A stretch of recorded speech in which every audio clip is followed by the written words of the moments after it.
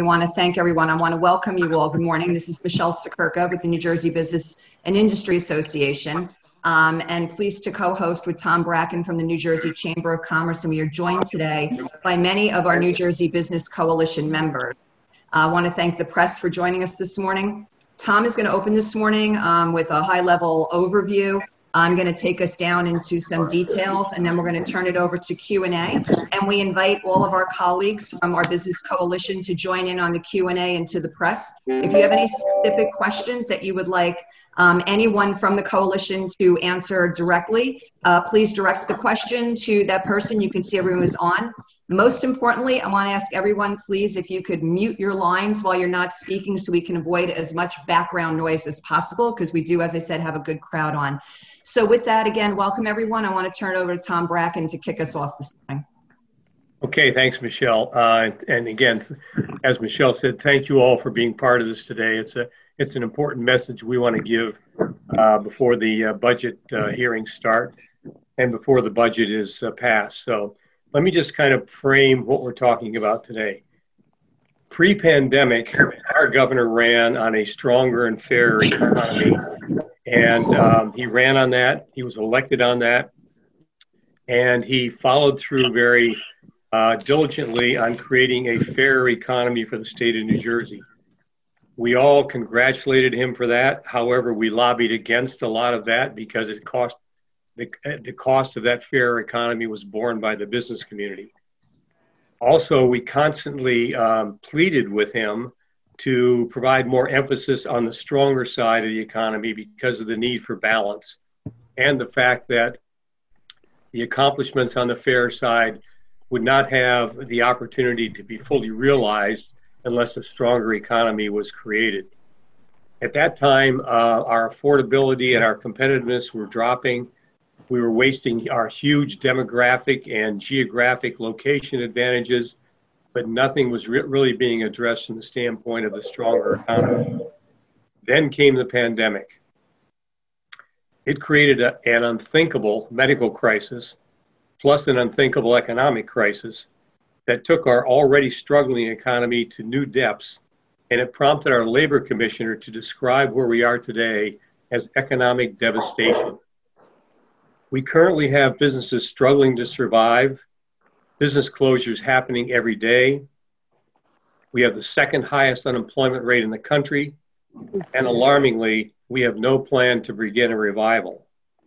Not only do we have no plan, but there is hardly any discussion of our economic crisis, which gives you the impression that the administration doesn't think it exists. Just think of all the governor's press conferences that you've had, and there have been over a hundred of them. The medical crisis is front and center. How often has the economic crisis even been mentioned on any of those press conferences? We have had high profile commissions and committees set up to start the re- to provide restart and recovery processes, but still no plan. The medical crisis was thankfully attacked aggressively by our governor, and we now have his statement last week where he said, Our health data is as good as any state in the country but we still have no economic plan. And recovery only between phase two and phase three, and quite frankly, probably closer to phase two. We need an aggressive attack on our economic crisis, similar to the one employed to control our medical crisis, if we hope to avoid taking our current economic devastation to new depths. We have all been pleading for that because the survival of our state is at risk. So, what has been the response to that? A budget that drives more nails into the business coffin by proposing more taxes on job creators, aggravating our affordability with unnecessary borrowing, adding new spending to further enhance the fairer side of the governor's mission, and giving minimal attention to the growing cost of our expensive government infrastructure. Also, there is nothing, and I repeat, nothing in the budget to support our struggling business community.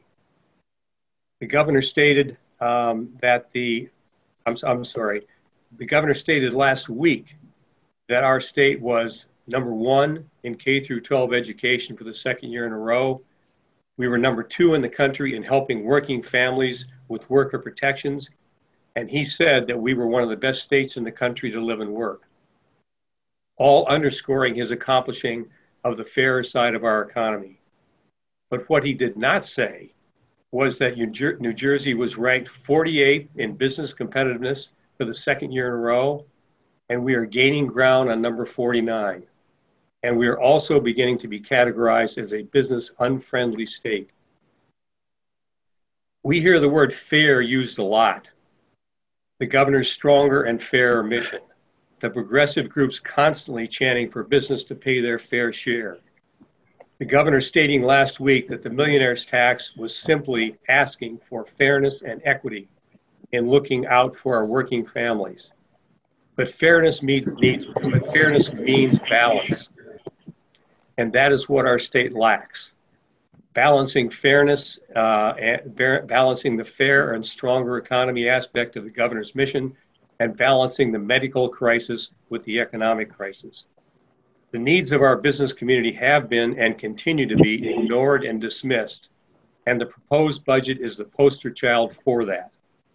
Our economy is in horrible shape, but the administration seems to be in denial of that, as evidenced by the budget. We cannot tax our way out of this crisis. We cannot spend our way out of this crisis. We cannot borrow our way out of this crisis.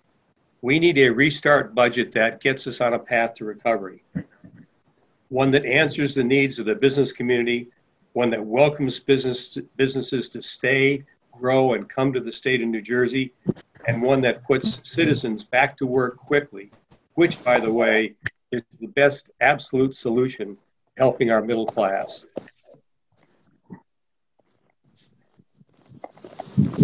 Um, business as usual, the same old tactics, ignoring our fundamental problems, and hoping things will get better will not work. We need this proposed budget to be dramatically altered if we have any hope to regain our economic recovery that will benefit all our citizens in the best possible way, which are reviving our economy, creating more jobs, growing our revenue base to adequately fund our essential services, which are the keys to enabling us to uh, regain, we don't have it yet, but to regain the label of a great state to live and work. I'll now turn it over to Michelle, who will go into a deep dive on some of the budget particulars.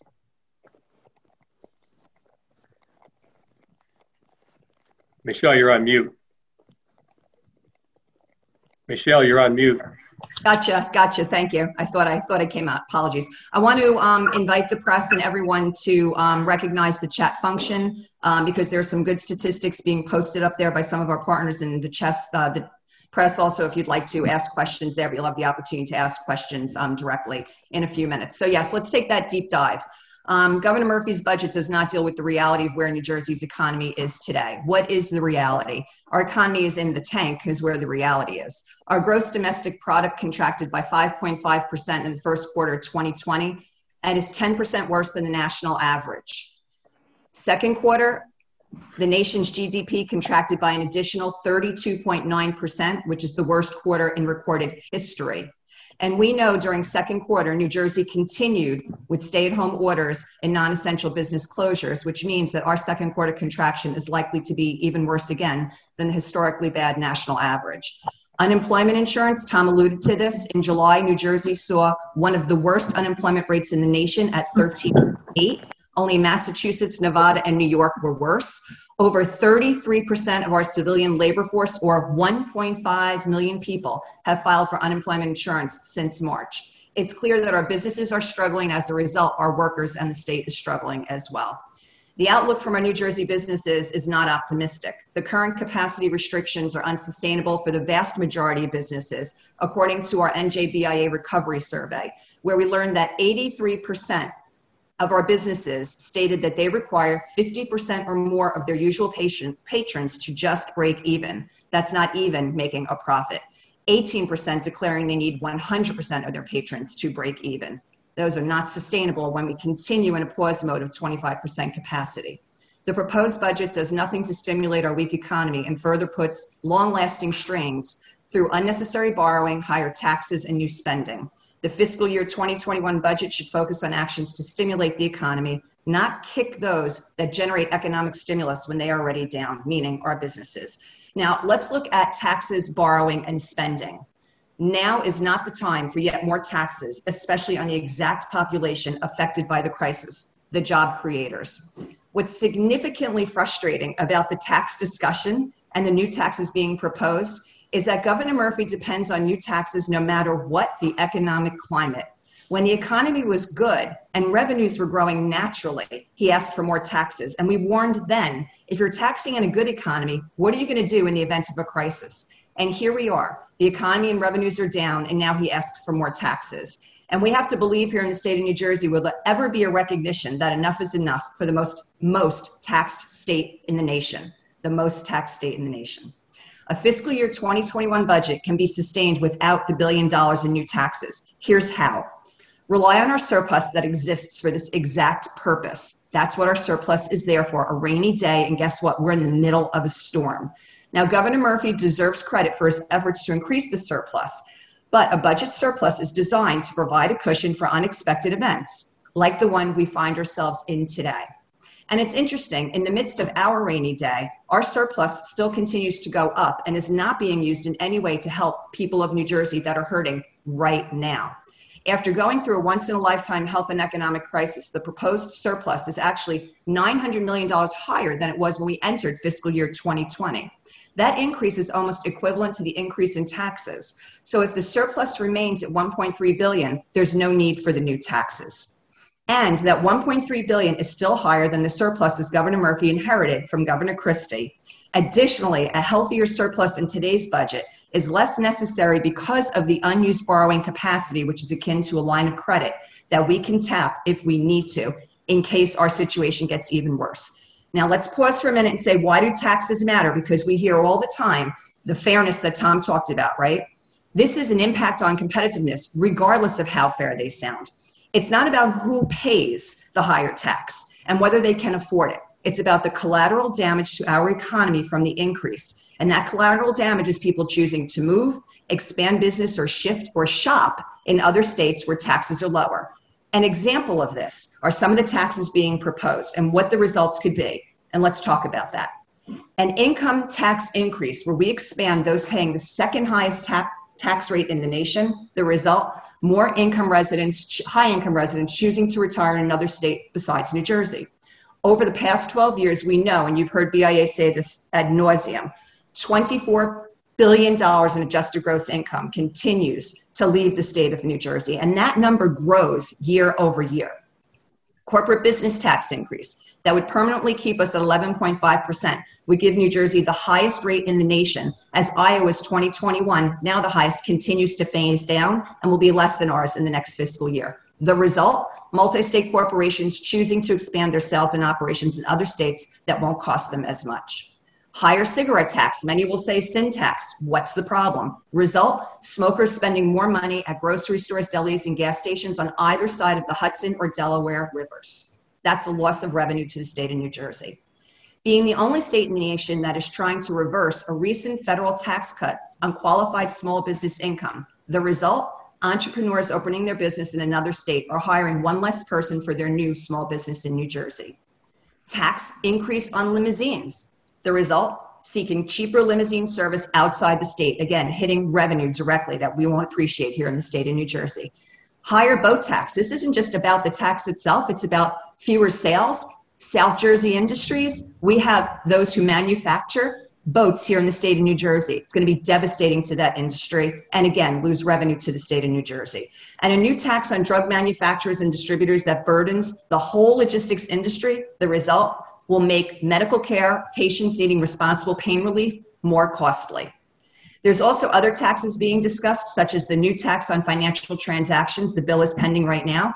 And Governor Murphy very clearly is in favor of this. The result make it very easy for financial service firms and their data centers to move to Long Island, just north of New York City, or to Southwest Connecticut. That is true. It's too easy to move those data centers. At a time when more businesses and residents are looking to leave New York City, we should capitalize on that and make New Jersey a more attractive part of the New York economic region, not less. And all the taxes we just talked about affects our competitiveness. We are already struggling with competitiveness. Now let's talk about borrowing. This is not the time for new borrowing. Here's a fact. At $215 billion, New Jersey's debt is now five times the state's total budget. You all have seen that chart that I hold up when we speak, right? The fiscal cliff. We've been there, and this borrowing will only tip us over further. Our state debt levels should worry everyone because it means that other spending on programs that can help people will be crowded out in the future when all that money is going to go to debt service. If we borrow more, debt service costs in the future budgets will grow. And those costs are already high, and our overall long term liabilities compound those future cost concerns every effort, every effort should be made to keep new borrowing for operational expenses to a minimum so we can afford the things that we all want instead of just paying off loan interest in the future. All those safety net programs, they will be crowded out by debt service in the future, and this is something we should all be deeply concerned about. More important, this level of borrowing today is not necessary, and here's why. A case could be made to eliminate any contribution this year to the pension. However, just at a minimum, if we cut the contribution to $3.7 billion for a $1.2 billion savings, this would hold New Jersey at the fiscal year 20's seven tenths pension payment, which allows the state to maintain the progress it has made and not backstep. This is still higher than any previous administration's contribution, and that $1.2 billion could be freed up to reduce the borrowings by at least 30 percent. When it comes to the pension contribution, please let's remind ourselves that whatever dollar figure is settled on, it will still go toward a broken and unsustainable system that will continue to rely on new taxes and borrowing well into the future. We need to do better. Cutting the borrowing could mean cutting hundreds of millions of dollars in debt services and budgets over the next several decades. Future generations, next generation of worker in New Jersey.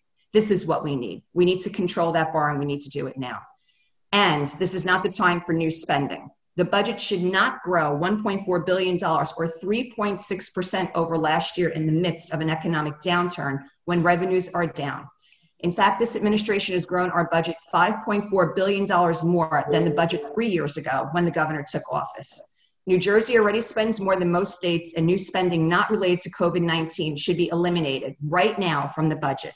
Without that spending growth, the new taxes and the borrowing become even less necessary.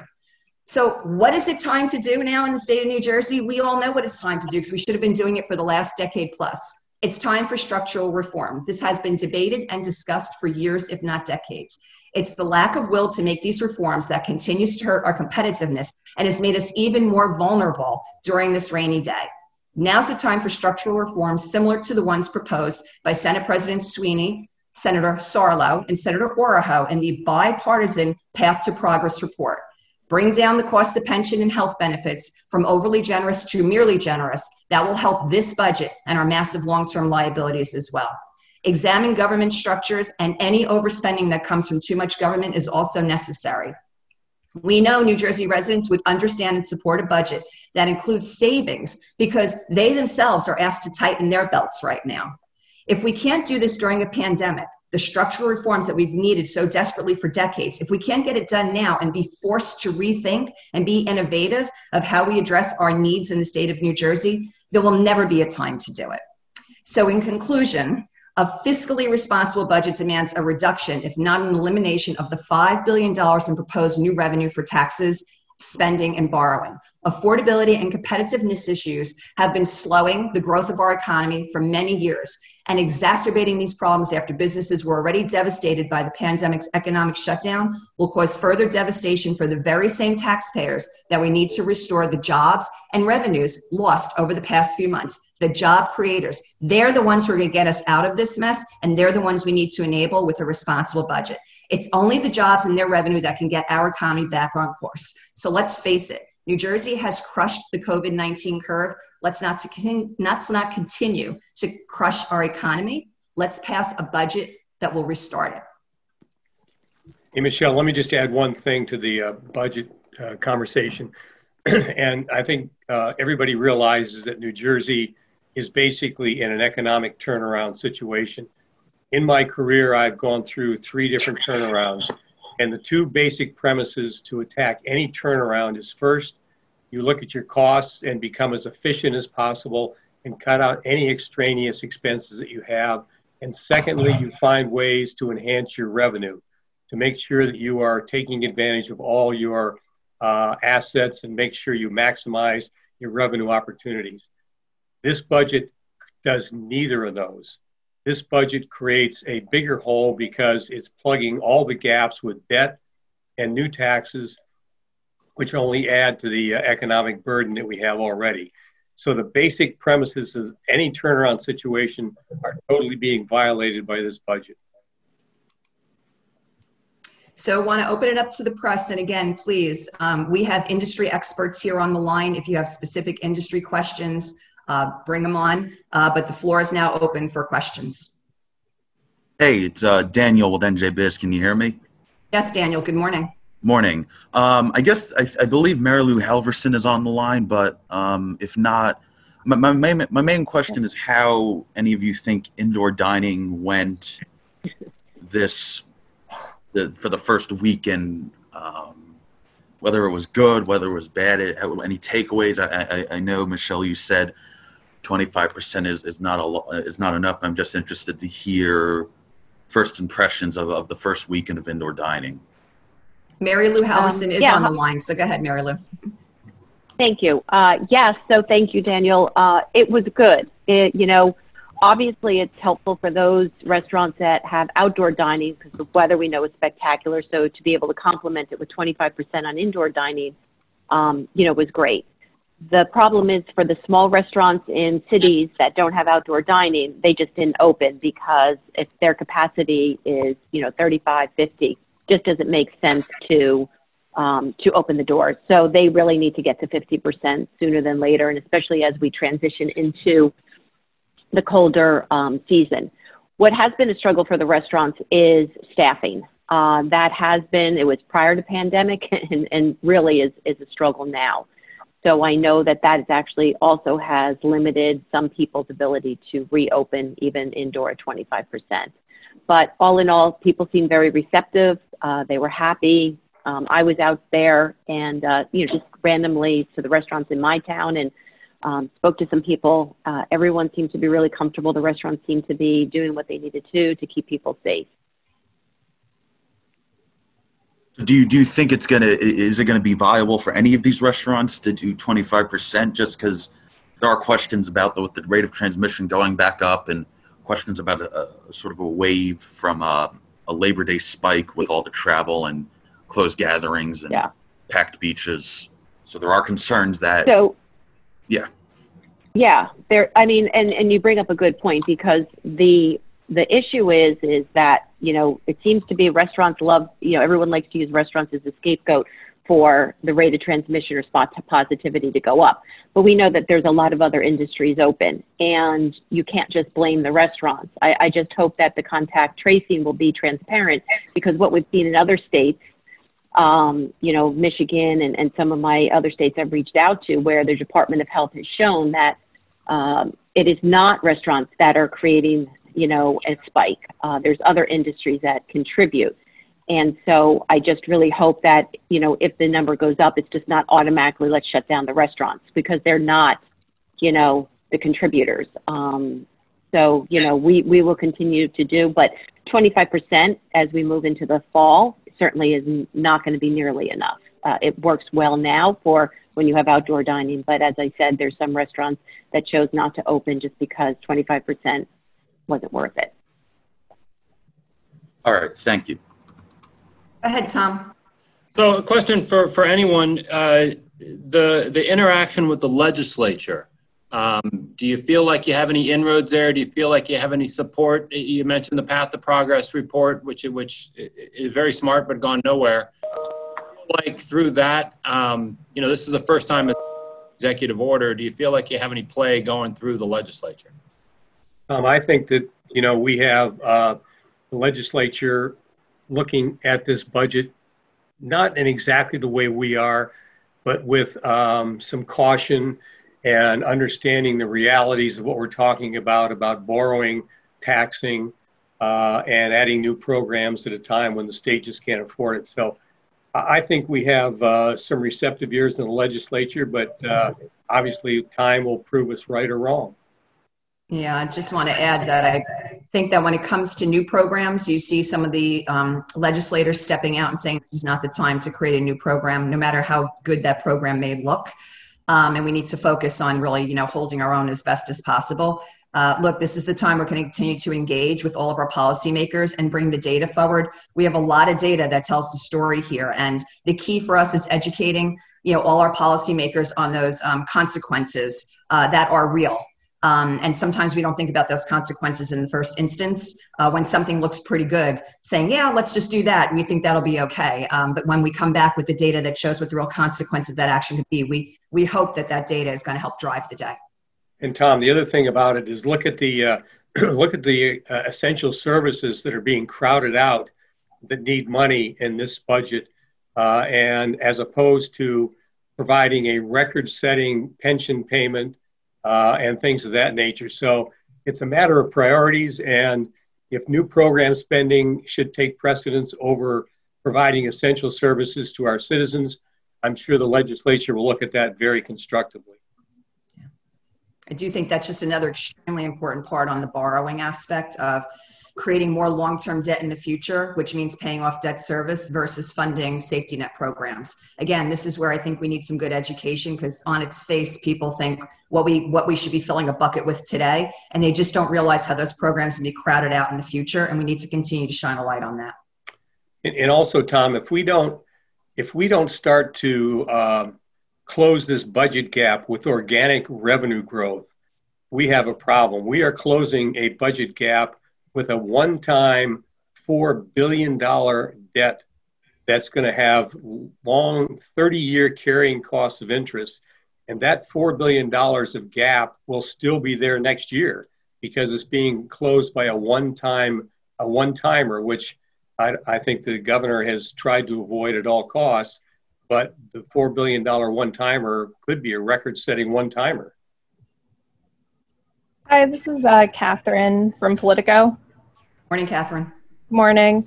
Um, just a question on using the, you know, switching the pension payment for the borrowing. Um, can you explain the rationale behind some of that? Because, you know, if we're not stepping up and increasing the pension payment, um, you know, to prevent um, borrowing, I just, I just don't see how, um, you know, it's we're still going to be increasing our debt if we're not uh, if we're not stepping up that pension payment.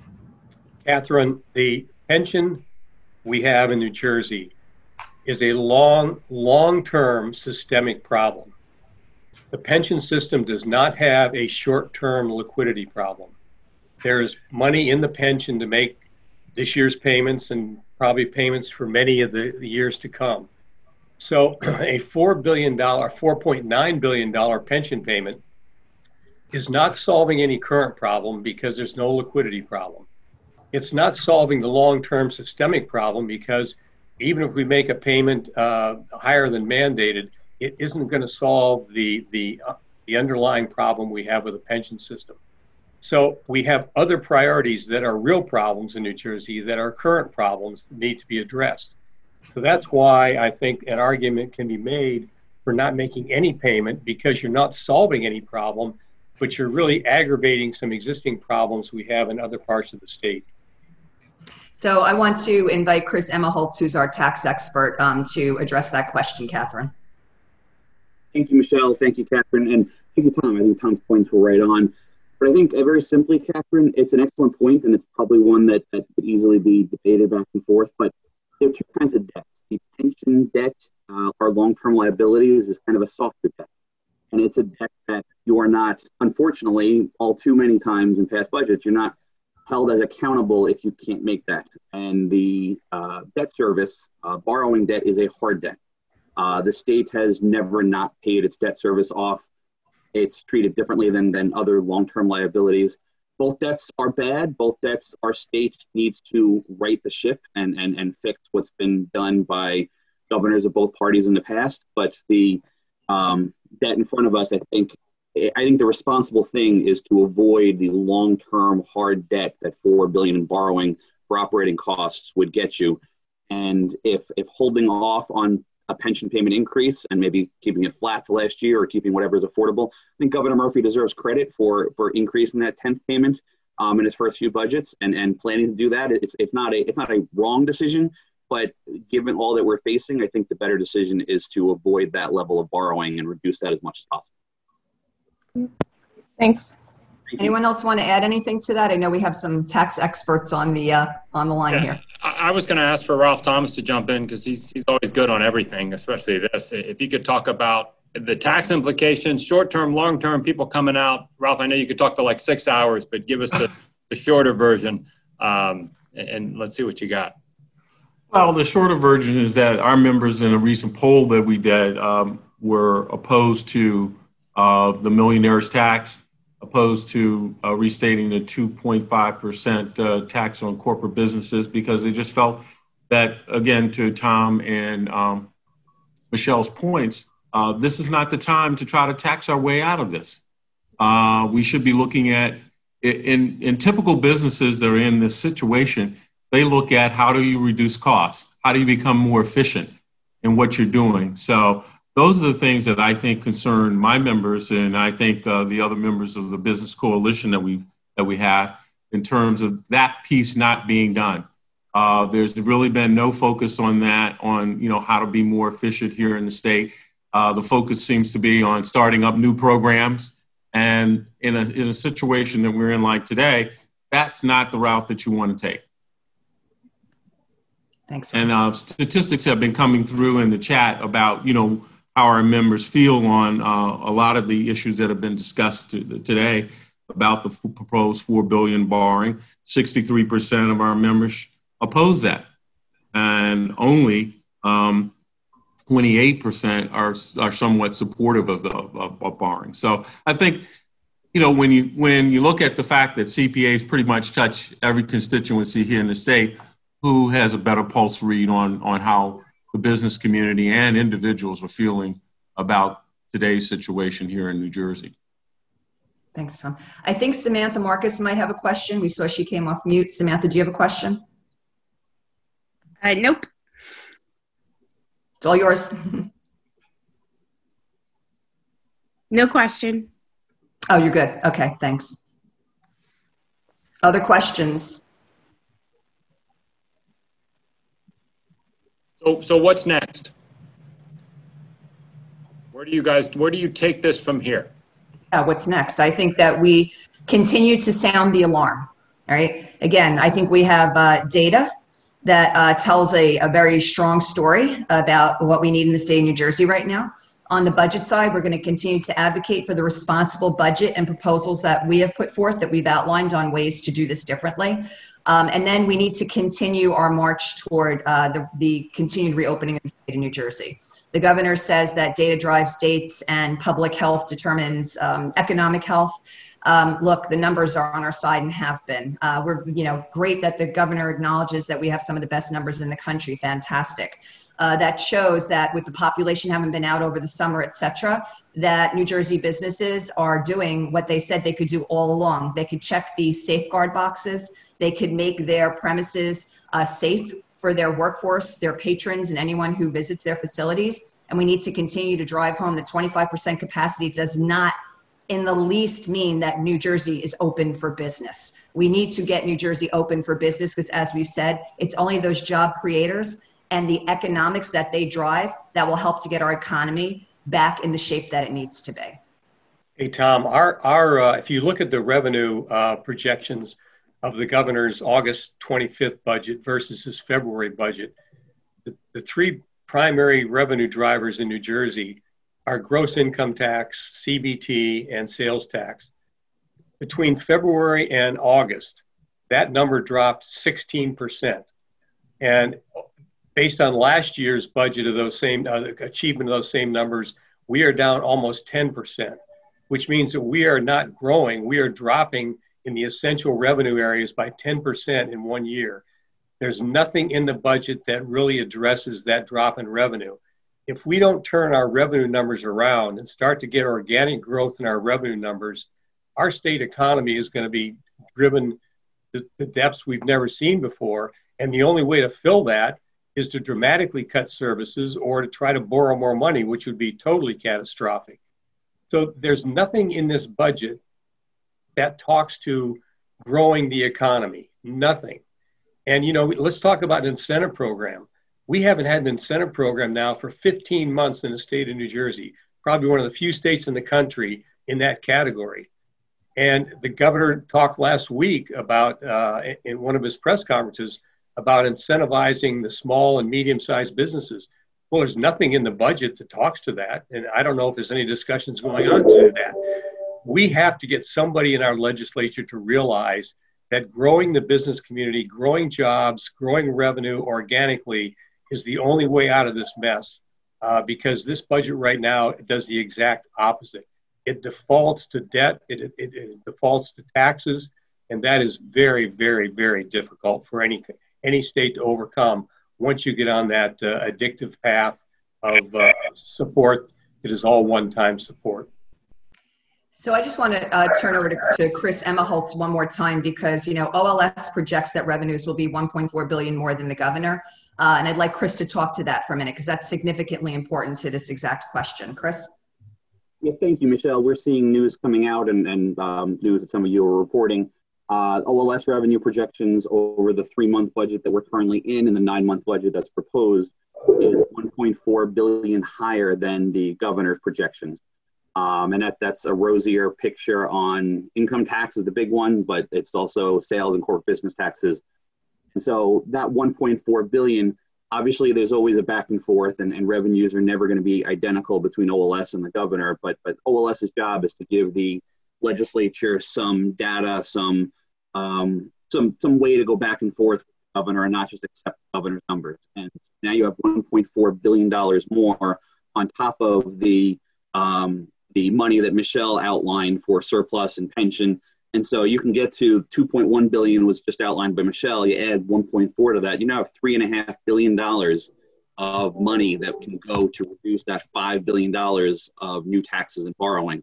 And so we can get to a healthier budget in a fairly easy, responsible way without actually cutting any programs that hurt the people of New Jersey, just avoiding some of that um, increase in surplus, avoiding the increase in pension, and using that, that rosier revenue projection.